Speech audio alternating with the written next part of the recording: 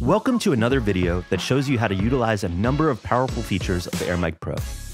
In this video, we'll show you how to connect your AirMic Pro to various equipment such as cameras, smartphones, and your computer, how to clip it onto the body for optimal use, and how to take advantage of its advanced features like noise cancellation and gain settings.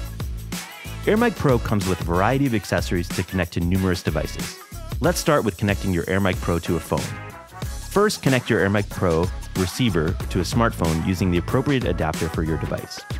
Plug the receiver into your phone's appropriate port, usually the same one used for charging, and you're ready to capture crystal clear audio from one or both of the two included transmitters. For digital cameras, simply connect the receiver to the camera's microphone input using the provided 3.5mm TRS cable. Ensure the receiver is securely attached to the camera's shoe mount for stable recording. Connecting to a PC or Mac is just as easy. Use the USB adapter to connect the receiver on your computer's USB port. This allows you to use the AirMic Pro for video calls, podcasts, and other recordings directly from your computer.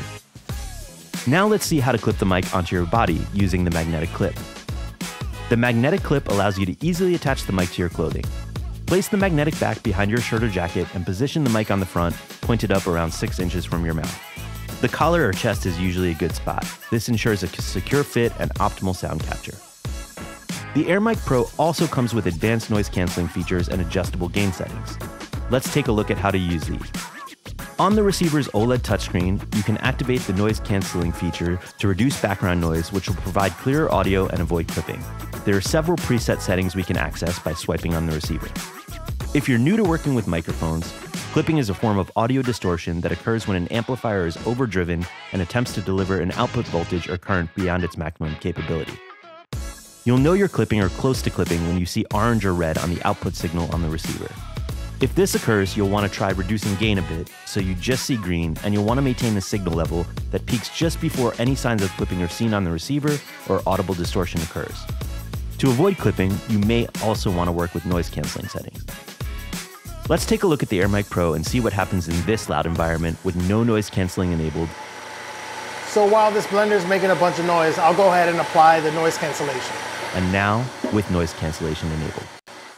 Now with the noise cancellation applied, you should be able to hear me clearly uh, while the noise cancellation suppresses all the background noise that the blender is making.